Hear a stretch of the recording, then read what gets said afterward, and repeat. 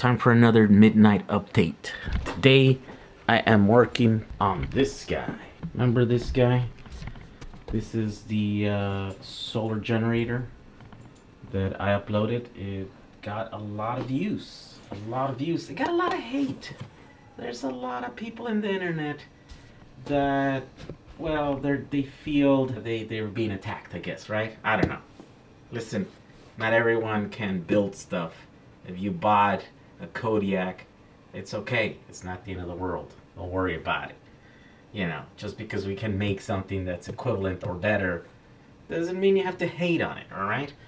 For all the haters that said uh, that this was nowhere near the Kodiak, right? Some said, where are, the Kodiak has 12 volt uh, sockets, right? Well, guess what? This one has 12 volt sockets too. You can put stuff in there up to 20 amps and it'll power it. It has the same thing, 30 amp. Uh, this is for an RV. People are saying, what is this, 2, 240? This is not a 240, so 125, uh, 120 volt, 30 amp plug. This one right here is uh, very popular in the RV world. You plug that in there and it'll power your RV. Um, some people were saying that I didn't know how to count because I said that it has eight of the USB ports, but people could only see six of them here. Well, apparently you guys don't know how to count because look at these. What do you guys think these are? These are USB ports, right? Um, some people said that this one didn't have an expansion port so that you can connect an external pack. That's not true. That's what this blue one here. Uh, I'm going to plug this thing in here, but that's still yet to come. I'm still working on that project. All right, um, let's open it up and then go inside, show you. There we go, look at that. Now, some people said that they didn't see any fuses in here, and that is true. There are no fuses because this thing has something even better. It's got relays. Now, some people were confused and they were saying, what are the reason to have relays? Well, those there are my fuses. They're better than fuses. In fact, they are uh, circuit breakers. How do they work? Well, let me show you. This is how they work. Right? So the battery is on. Let's turn it on. Let's turn our inverter here. There we go. Right. Now let's put a real load. This is about a thousand watts. Plug it in. There we go.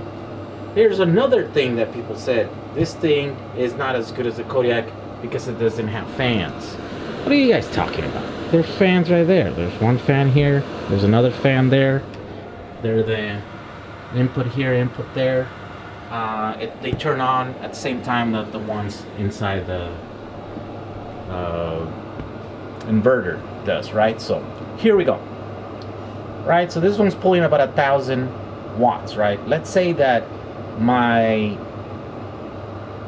yeah, let's turn that off. Let's say let's say that my cabling couldn't handle more than a thousand watts, and I wanted a set uh, limit, right? So it didn't do that. Okay, look, you just go here. This is over power uh, protect. You click on that. Look at that. You see that? It's a thousand. It says a thousand watts. So this will trigger those uh, relays that are in here. It will turn them off if the power goes above a thousand watts, right? So we just have to actually change it slightly. There we go. So to, in order to turn it on, you have to make sure that the little bubble is green. And you do that by playing OK. There we go. So that's OK, that's green, so that means it's going to protect, right? Let's turn it on.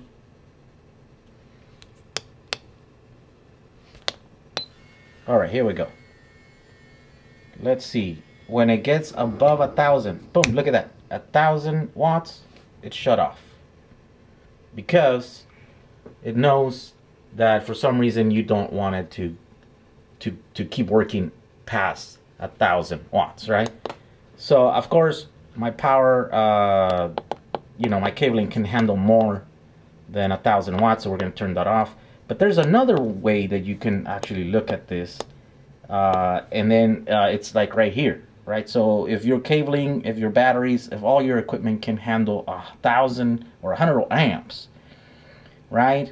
Regardless of what the wattage is, uh, then that that's okay, right? You can choose either on watts or on amps, and you know I'm gonna in this scenario I'm gonna choose a 100 amps, and I'm just gonna leave it there. If in case 100 amps, what is that? That's like 3,000? No, that's 2,000, 2,500 uh, watts, which the inverter can totally do, my cabling can totally do. But I'm just gonna leave it at 100. Right? There we go. Hey, come on. So make it make sure that it's green. There we go. Turn it on. I guess when it's uh yeah, when it's red. Okay. There we go. So now it's on. Okay, let's talk about another thing that people said give me criticism. People said the criticism because of the batteries. The batteries have their own BMS. They're not any less safe than the Kodiak. They think that the Kodiak is really safe and this is a bomb. That's what a lot of people said. That's dumb. That's something that someone really ignorant would say because the Kodiak just has about the same type of batteries. They're 18650s, which are better batteries than these, but you know, not not that much better, right? So, so this is good. It's got protected. It's got six of these packs. Uh, another people, someone else said, "Oh, that's so dumb. You didn't separate them because there's a bunch of batteries on the bottom that I should have put something in between them." I actually did, and I talked about it on the previous video. But apparently, if I don't show it to you, it's not real. Apparently, yeah, a lot of you guys uh, are lacking a lot of um, imagination and so if I don't show it to you, then, uh, well, it doesn't exist. But it does exist. It's right there. The fans are there. This thing is ready to go. It's got about a kilowatt hour, 1.2 kilowatt hours worth of power. And um, it's ready to go. The next thing that I'm going to do is build the expansion pack uh, that goes into this plug. This is for solar. I'm going to show you next time also how to plug in the solar.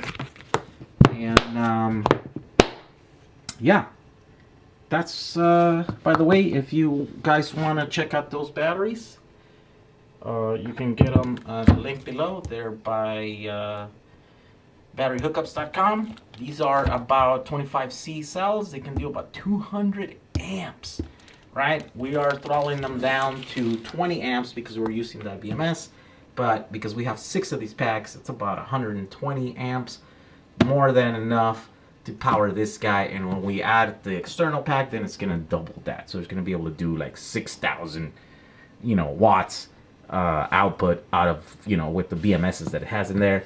Um, so that's good. You plug in the uh, the charger here if you want to plug it off the wall or you plug the the solar panels in here if you want to plug them uh, here um, yeah this is better still better than the Kodiak. I'm sorry to say that, internet. Sorry to hurt your feelings, but uh, this is still better than the Kodiak.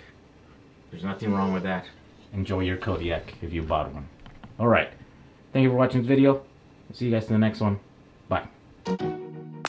Alright, next time I'll address the missing solar charge controller. A lot of you guys said, where is it at? And I guess you guys don't realize that it's inside the inverter. Also, I will make the schematic available. I didn't make it available right away as I've learned that, well, sometimes you have to work through little bugs to get everything working and I didn't want to share something that wasn't ready. I'm there now. I think the system is working uh, good and so stay tuned for the schematic.